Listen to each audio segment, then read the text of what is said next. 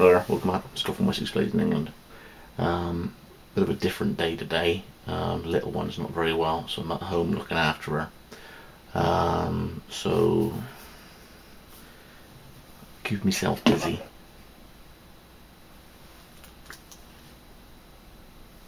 Hmm. Just, I've had a go, okay? Big, big thing. That one goes on there like that. What do they call that? The initial loop, I suppose. Anyway, whack the Dirty Great Fire steel in um, the crisp sheepdog knives Echo. it's in there. It's probably for about a seven mil, but it, it fits a nine. So they got nice lanyards, and been wanting to do this for months. This this is the axe I got from the boot sale. I think it was about eight pounds. I've tidied up the handle, oiled it, um, sharpened it up a fair bit. Pretty good. It's quite a handy axe, but taking it out is a bit awkward because I don't have a mask. So that's what I'm going to start making. So if I sort of move the camera and as I go do a few bits of filming, you'll see how I approach it. It's pretty basic. Um, so here we go then. Come over here, Scotty's little desk. So all I've done initially, so I've got a big black pencil. I've just drawn a generous template around the outside. Plenty of room for stitches or rivets. Alright. And then what I'm planning on is the strap will be mounted at the back here. Come over the top, that section, come over the top and clip on another piece that's that big anyway. So sort of like that to that section there up to there. Should be able to see that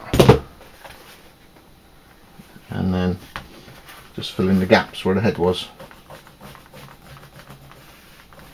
So plenty of room plenty of space I'm not trying to make it too elegant I'm just trying to get it done see in a bit I've cut it okay I'll come back now what I'm going to do is try and allow for the back to have, or the front, whichever, to have a different shape on it to come up a, to allow that length there to have enough strap. So I might actually not have a matched front and back. But when you're trying to get a nice pair in terms of the front and back, make sure when you use this as a template you put it swady side to swady side. If that makes any sense to you. So if I put it like that, I can get an extra bit of length to make sure the strap is plenty long enough. So I can draw that.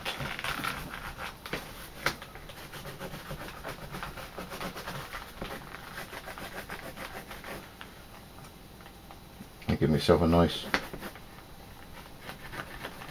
amount of room there.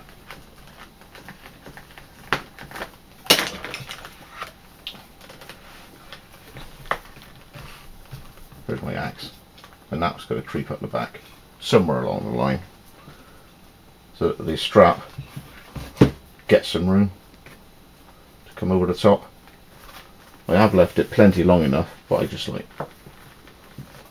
playing with designs as I go. I've just had a little experiment and yes this is plenty sharp enough to do what I want to do. The slight overlaps of the back and the front I'm literally using the Echo to trim it.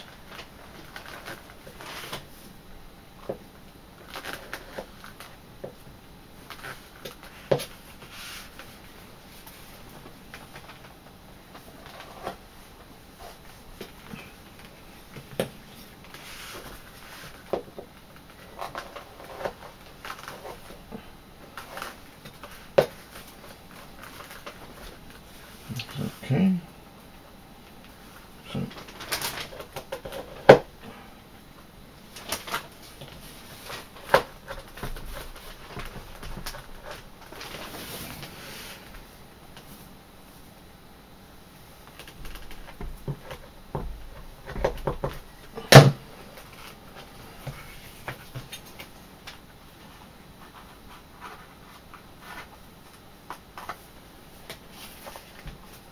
wicked little knife. Sheepdog knives. There, there, there, now. I'm flip it over and just the mismatched bits, just make sure it's all married up.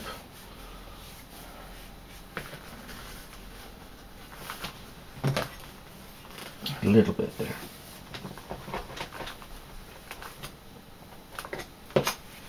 Something like that. There. I'm just gonna just trim that like that. Right. Now I'm gonna offer up the head. Hold it down. Perch that on there. And then work out where I'm going to put the holes for my little rivets. What I'm going to do is just use a very small headed punch and just dot out where I want it to go.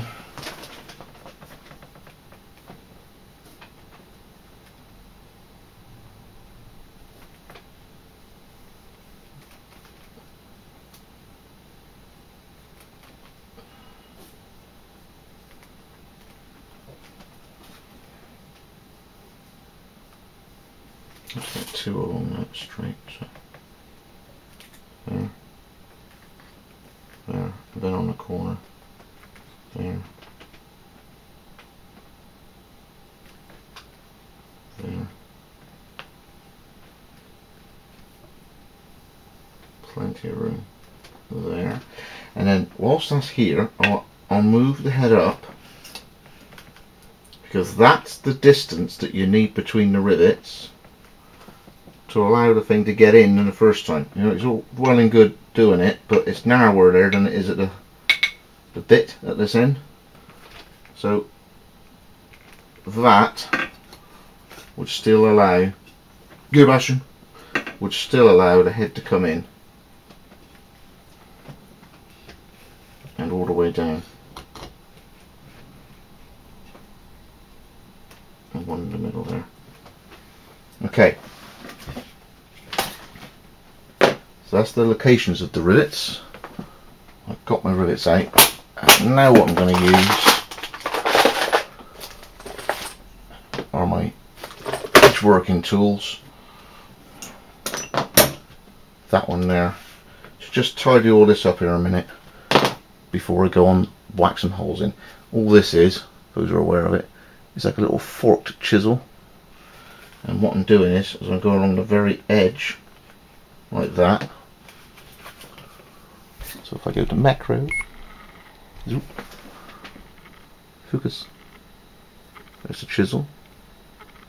So I'm just going along the very edge, taking that square edge, which will allow my edge working tool later to make it rounded on the outside. You'll see later. But what we're doing now is just tidy all these up.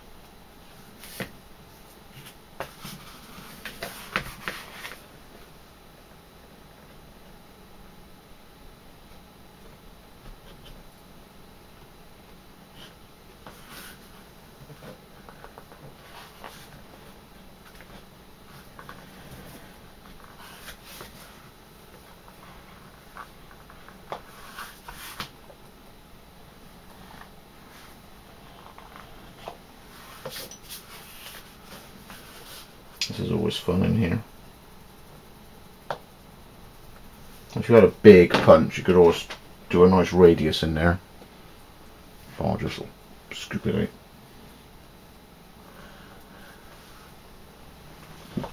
out. That. or it's like doing a, a, a blade that goes along and then the handle. If you make it really square, really square shoulders, you actually make weak points. So I've actually gone into there and rounded that internal corner. Just rounded it off.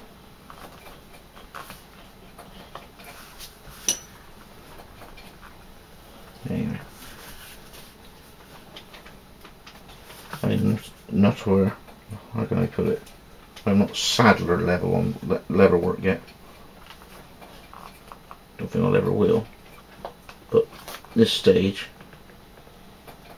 really allows the edge profiling to catch up with itself later on.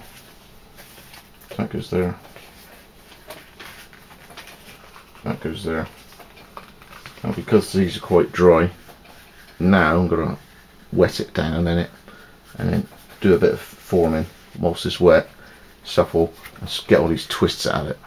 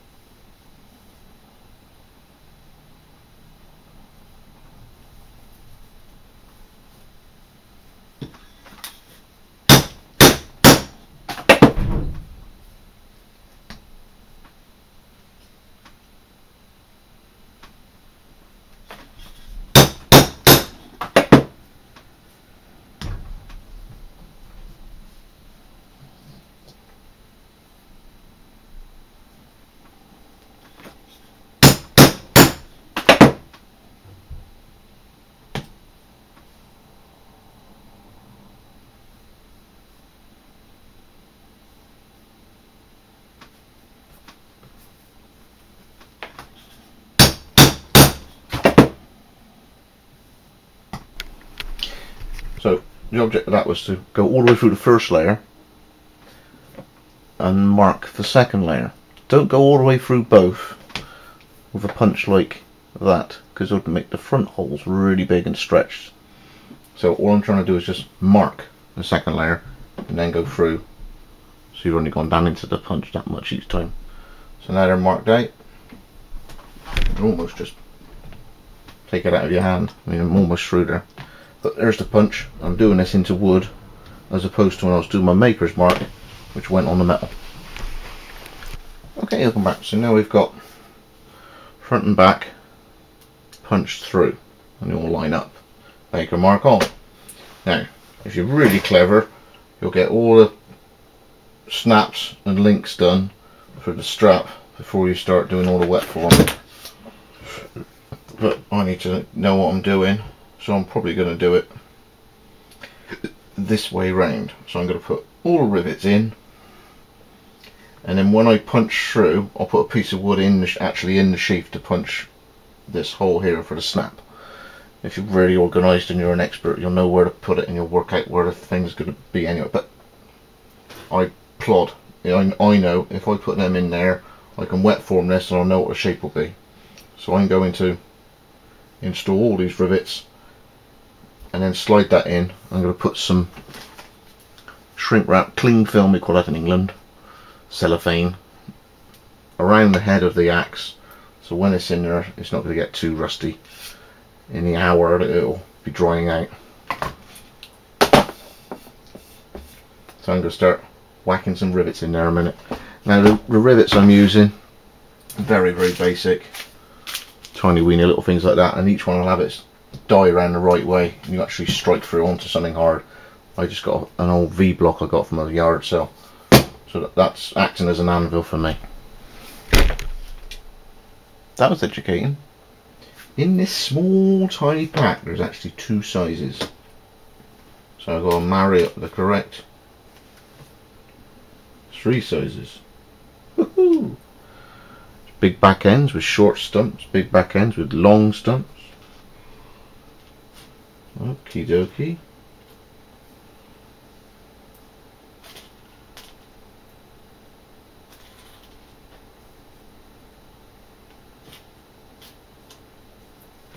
One, two, three, four, five, six, seven, eight, nine, ten. So six. So I'll do I'll do big ones up there and then little ones. Big ones, little ones. So big one next. That's interesting. You buy a pack of rivets and there's three different sizes in there. Okay. So there's big. It goes there. Rounded side I put on my dished anvil. I whack that there like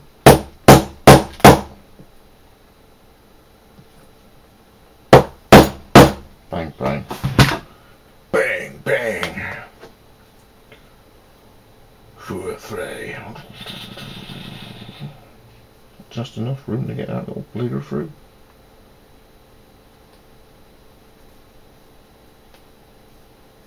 Yeah that one. A rinky dink. That's quite sweet, having two different sizes. Bang, bang.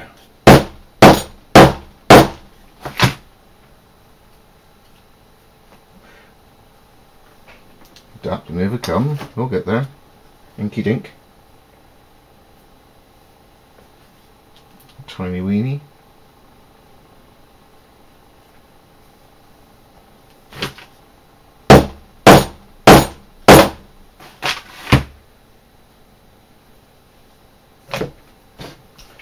so on and so forth. Okay, so once that's forming in there with cellophane on, I'm going to cut a strap out of this piece and then measure up from there two rivets round and a popper about there. So from that flap tongue there on the back of the head there over top of the handle here straight down to that. So that leaves that to dry.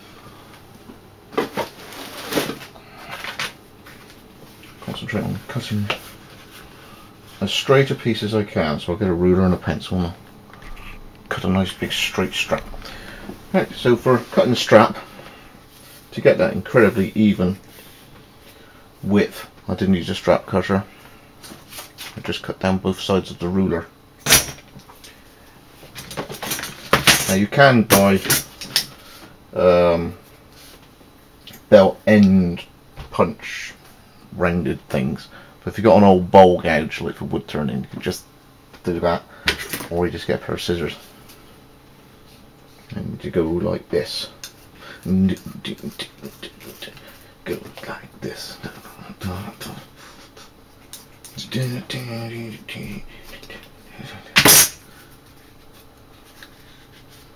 and surprise surprise it's pretty even so now what I'm going to do is wet that because he's got a real twist.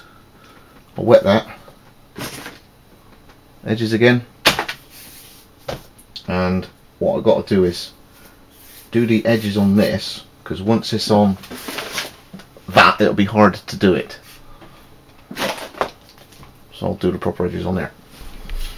Give me some room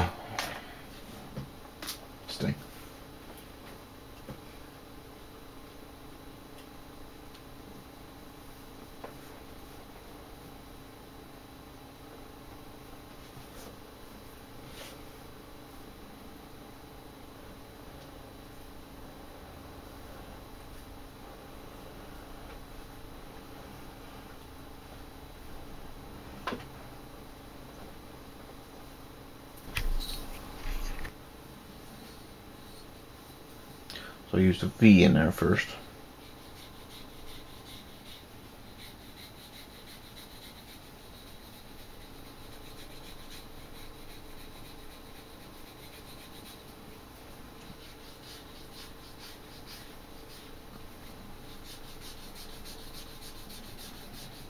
And just finish off the edges.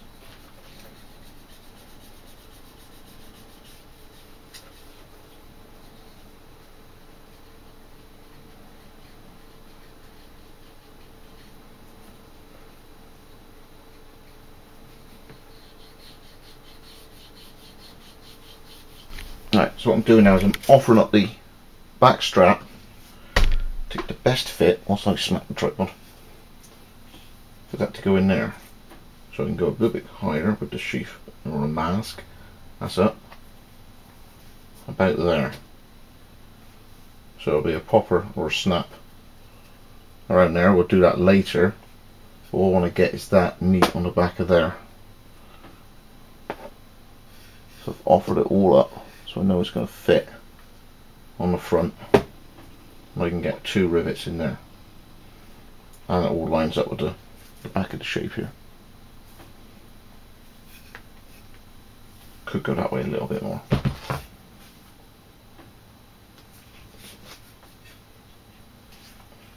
That's lovely. So that's out of the way. That's held on.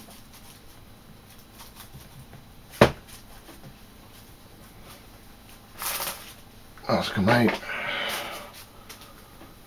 And that's where it is. Just straighten it up.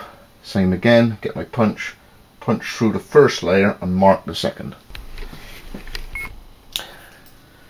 This is where you, if you can, appreciate how big the rivet's going to be and try and get a nice even radius from the outside of the strap edge, which is sort of this piece here, and where the rivet will be. So a nice position will be about there. So as the rivet comes across, too close, it, it, it'll actually look unattractive. So I'll put one there, and then one there. Hammer. So I'm not necessarily going through the second layer, as long as I mark it. One there. And again, a nice attractive position for that would be there. This is where you've got to be careful that if you want to make it strong, you get holes close together. Well, the holes could be close together, by the time you put the heads on, they look crowded. So, space is just as important as strength. Okay, so don't don't cramp these too close up and don't try and oh I'll go for free and make it super strong. Okay, you you just look crowded. So mark the second layer. Now go through with that.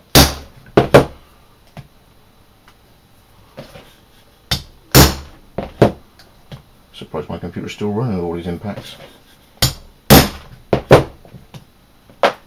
So rivets. Yeah, well, this is the uh, precise technique, but one way I find is quite good for finding where the holes are the right place.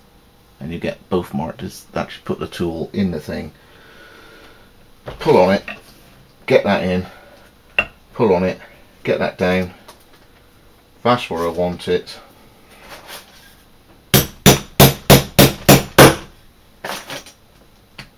through the second, sorry, through the first, mark the second. And you won't ruin the tip of that. So I've marked it just as it starts sort of bearing down onto there. I've stopped. I haven't gone all the way through the lever.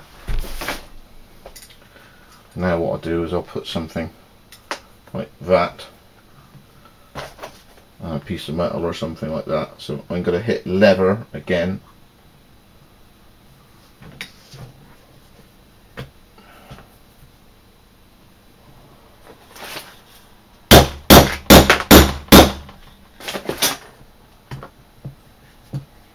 almost.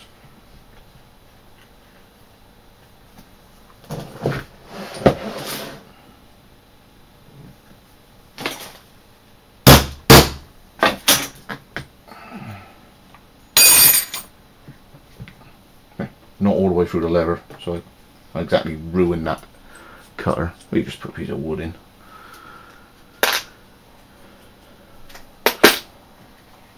Now that should be the right place for the right tension for that head.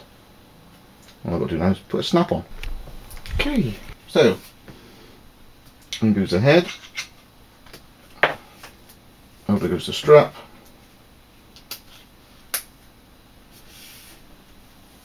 That's a lot safer. Looks it's alright, it? So, an axe mask or sheath, down and dirty, took me what, hour and ten minutes, hour and a quarter, and that's, I say, not the prettiest thing in the world, but I'm more than happy now to put that in my pack. So, thanks for joining me again. Just basically a Stanley knife set of punches with the right dies, and knowing when to use a block of wood or an anvil at the right time. Measure and I, would say the the biggest thing is to cut a generous piece to start with because you probably need a little bit more room than you would think for the rivets okay? So cut bigger you can always trim it down. Thanks John again. Let's go nice into plate